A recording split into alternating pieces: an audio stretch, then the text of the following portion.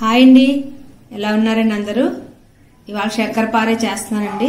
చక్కెర పారే. అంటే మైదాతో చేసే బిస్కెట్స్ అన్నమాట మనం తెలుగులో చెప్పాలంటే. దీనికి కావాల్సిన సామాన్లు ఇది పండక్కి స్పెషల్గా పండక్కి ఏం చేసుకోవాలి లేదు. ఎప్పుడు కావాలితే అప్పుడు చేసుకుని పెట్టచ్చు. పిల్లల బాక్స్లో పెట్టడానికి చాలా బాగుంటుంది. ఇది పిల్లలు పెద్దల వాళ్ళు కూడా అందరూ బాగా ఇష్టంగా తింటారు ఇది. నా స్టైల్లో నేను ఎలా చేస్తున్నాను మీకు చూపిస్తున్నాను. ఇది మైదా వచ్చి రెండు కప్పులు తీసుకుంటున్నానండి. మెజర్మెంట్ అంటే కప్పు ఉంది కాబట్టి నేను కప్పుతో తీసుకున్నాను. మీరు మీ ఇంట్లో గ్లాస్తో అన్నా మన స్టీల్ దా గిన్నెతో అన్నా తీసుకోవచ్చు. ఇది నేను కొంచెం జల్లి జల్లిద్దామని తీసుకున్నాను. జల్లించిన మైదా రెండు కప్పులు. మనం ఎందుకు జల్లిస్తున్నామంటే మైదా మనం షాప్ నుంచి తెస్తాం కదండి. ఏమన్నా కొంచెం ఇందులో ఏమన్నా చెత్త ఏమైనా ఉంటాయి లేకపోతే చిన్న పింక్ పురుగు కానీ కొంచెం వైట్ పురుగు కూడా పడుతుంది అప్పుడప్పుడు మైదాకి. మైదాకు తీపిదనం ఉండడం వల్ల ప్రస్తుతానికి ఇందులో ఏమీ లేదు ఫ్రెష్ గానే ఉంది. ఒకసారి మనం జల్లించుకుంటే మంచిదండి. ఎందుకంటే చిన్న పింక్ పురుగు కానీ వైట్ పురుగు ఏమైనా పడుతుంది మైదా తీపిదనం వల్ల. ఇందులో అయితే ప్రస్తుతానికి ఏమీ లేదు ఫ్రెష్గా ఉంది. రెండు కప్పులు మైదా అండి. మీరు షుగర్ కప్పు తీసుకోవాలి. నేను ఇక్కడ పౌడర్ చేసి పెట్టుకున్నాను. పౌడర్ చేసిన షుగర్ ఈ కప్పు ఫుల్గా వేయను. తీపి ఎక్కువైపోతే బాగా తీపి తినేవాళ్ళు ఫుల్గా వేసుకోండి. ఫుల్గా ఎక్కర్లేదు ఇందులో. మీ తీపిని బట్టి మీరు వేసుకోండి. నేను చూడండి ఫుల్గా వేయలేదు. ఈ పౌడర్ ఇందులో అంటే ఫుల్ ఫుల్కు తక్కువ ఒక కప్పు షుగరు. షుగర్ పౌడర్ చేశాను. మీరు కూడా పౌడర్ చేసేయండి. టూ కప్స్ మైదా ఒక కప్పు తక్కువ చక్కెర పౌడర్. దీంట్లో మన క్రిస్పీనెస్ కోసం బొంబాయి రవ్వ అండి ఇది సూజీ అంటాం కదా. అది దీంతో నేను ఒక మూడు స్పూన్లు వేస్తున్నాను. ఇంకా కొంచెం బాగా కరకరలాడాలంటే మీకు ఇంకొక స్పూన్ వేసుకోవచ్చు. ఇది మనం ఫ్రై చేయక్కర్లద్దు. మన పచ్చిదే. ఒక మూడు స్పూన్లు. ఇదిగోండి వన్ టేబుల్ స్పూన్ అని రాసింది.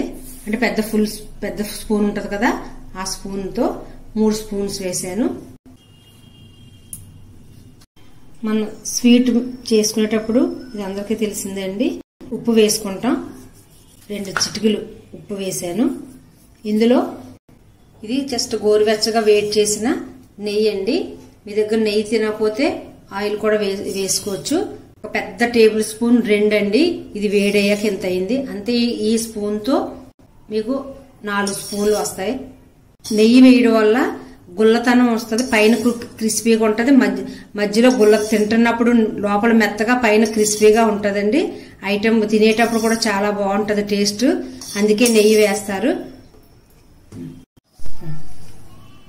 కొంచెం హాఫ్ గ్లాస్ కాచిన చల్లార్చిన పాలతో కలుపుతున్నానండి. కాచి చల్లార్చిన పాలు వేయడం వల్ల శంకరపార బిస్కెట్స్ చాలా బాగా వస్తాయి.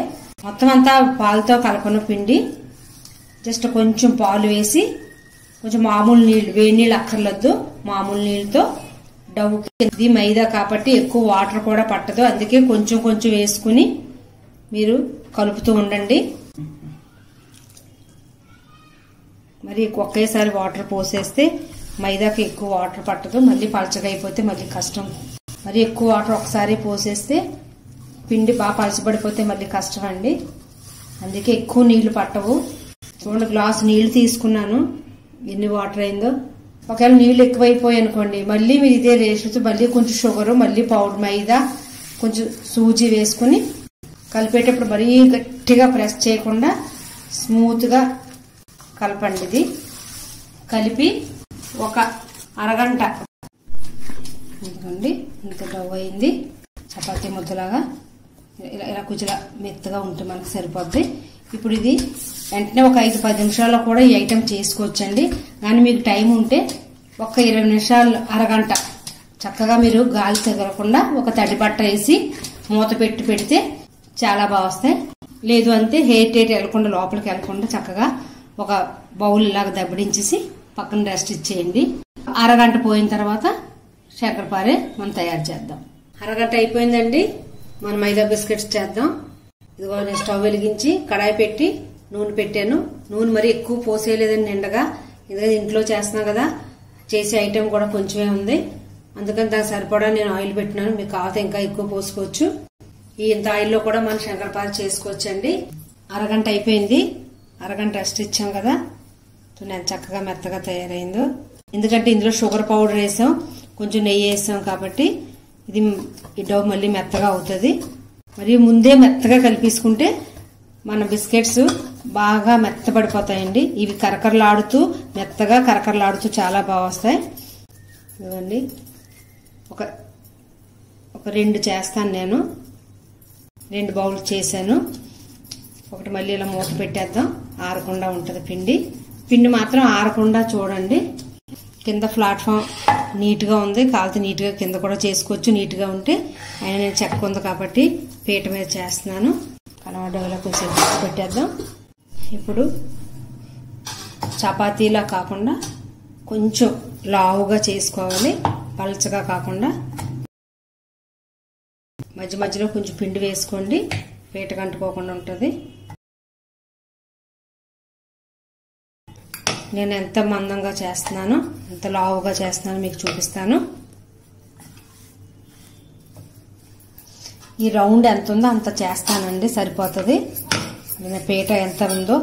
ఆ మందం ఉంటే మనకు చక్కగా మీడియం సిమ్లో వేపుతాం కాబట్టి మైదాతో మైదాతో చేసే ఐటమ్స్ కొన్ని ఐటెంలు హైలో కాకుండా మీడియం సిమ్లో వేపితే వేసిన చేసిన ఐటెం చాలా బాగా వస్తాయి. ఈ మాత్రం లావు ఉండాలండి. మనం చేసి చపాతీ. ఇవి మన శంకరపార కట్ చేయడానికి ఒక స్పూన్ ఉంటుంది. ఇది ఈ స్పూన్ లేకపోయినా పర్లేదు చాకుతోనే కట్ చేసేయచ్చు. నా దగ్గర ఈ రౌండ్ దీని ఉంది కాబట్టి దీంతో కట్ చేస్తున్నాను. మనం కట్ చేసే సైజు ఒకసారి చూసుకోండి మీకు ఎంత సైజు కావాలో అంత సైజు. ఈ సైజు అయితే చక్కగా పిల్లలు తినడానికి బాక్స్లో పెట్టడానికి కూడా బాగుంటాయి. రౌండ్గా తిరుగుతుంది కాబట్టి స్పూను. సైడ్ కొంచెం డిజైన్గా వస్తుందండి.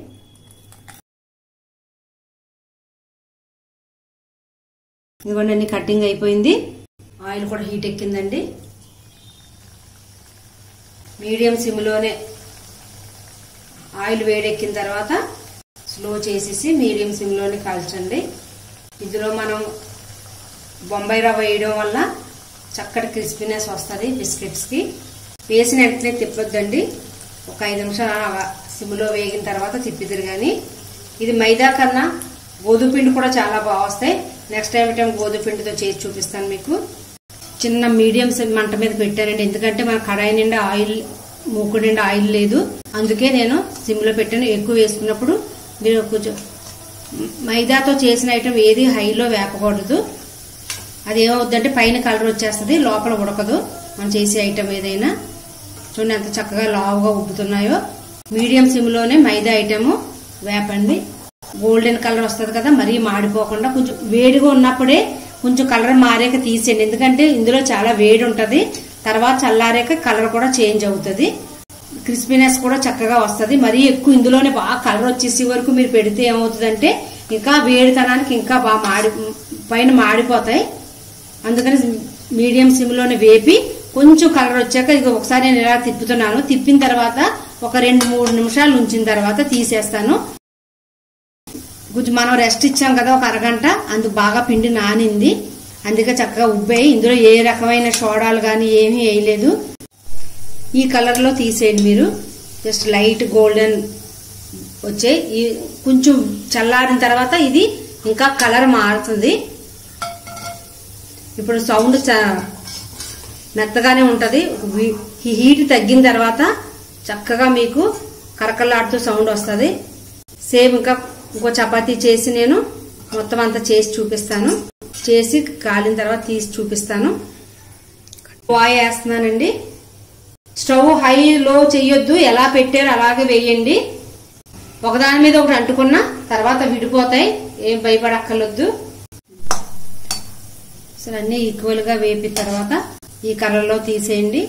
తీసేయడం వల్ల ఇందులో ఉన్న వేడితనానికి ఇంకా కొంచెం కలర్ మారుద్ది స్టవ్ ఆఫ్ చేస్తున్నాను. అన్ని శంకరపాలు చేస్తానండి. మీకు ఇంకా లావు కావాలంటే ఇంకా లావు చేసుకోవచ్చు. కానీ ఈ మాత్రం లావు బాగుంటుంది. మరి ఎక్కువ లావు అక్కర్లేదు మనకి. ఇంకా మరి అంత ఎక్కువ లావు కావాలన్నా కూడా మీరు చేసుకోవచ్చు.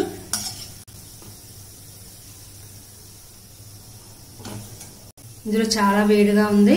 ఈ వేడి అంతా చల్లారిన తర్వాత మీకు చక్కటి క్రిస్పీనెస్ వస్తుంది. ఇప్పుడు ప్రస్తుతం మెత్తగా ఉంటాయి. ఇదిగోండి. చల్లారిపోయండి. శంకరపారి సౌండ్ వస్తుంది. చక్కగా మధ్యలో లేరు లేరుగా వచ్చాయండి. ఈ సూజీ మన బొంబాయి రవ్వ వేయడం వల్ల చక్కగా క్రిస్పీనెస్ వచ్చింది దీనికి. కరెక్ట్గా నేను చేసిన కొలతలకి నేను వేసిన షుగర్ కరెక్ట్గా సరిపోయిందండి. చాలా టేస్ట్గా ఉంది. ఇదే కొలతలతో మీరు అందరూ చేసుకోండి. పిల్లలందరికీ టిఫిన్ బాక్స్లో పెట్టడానికి స్నాక్స్గా పెట్టడానికి చాలా బాగుంటాయి. ఇది ఇంట్లో చేయడం వల్ల ఆయిల్ మనకి చక్కగా ఇంట్లో ఆయిల్ వల్ల ఎటువంటి హాని లేదు. నేను ఇరిపి చూపిస్తున్నాను. చక్కగా ఉడికిపోయండి. లోపల కూడా చక్కగా ఉడికిందండి. చాలా టేస్ట్గా ఉన్నాయి. కరెక్ట్గా నేను వేసిన మైదాకి షుగర్ కూడా కరెక్ట్గా సరిపోయింది. బొంబాయి రవ్వ నెయ్యి కూడా చాలా టేస్ట్గా ఉన్నాయండి. సేమ్ ఇదే.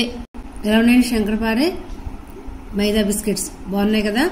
కొత్త వారు ఎవరైనా చూస్తుంటే సబ్స్క్రైబ్ చేసుకోండి. నా రెండు ఛానళ్ళకి మీ సపోర్ట్ ఎప్పుడూ మాకు ఉండాలి. అలాగే షేర్ చే- షేర్ చేయండి. లైక్ చేయండి.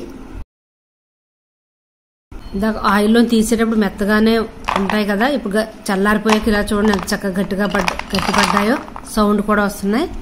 ఇలా మీ దగ్గర ఏదన్నా ఎయిట్ ఎయిట్ కంటైనర్ ఉంటే అందులో వేసి చల్లారిపోయిన తర్వాత చక్క మూత పెట్టేసుకోండి. నా దగ్గర టప్పర్ వేర్ ఉంటుంది కాబట్టి నేను టప్పర్ వేర్లో పెట్టేశాను. ఎయిట్ ఎయిట్ ఎయిట్ అయిపోయింది. ఇలా ఎయిట్ ఎయిట్ కంటైనర్లో చక్కగా స్టోర్ చేసుకోండి. మరొక వీడియోతో మళ్ళీ కలుస్తానండి. Thank you very much.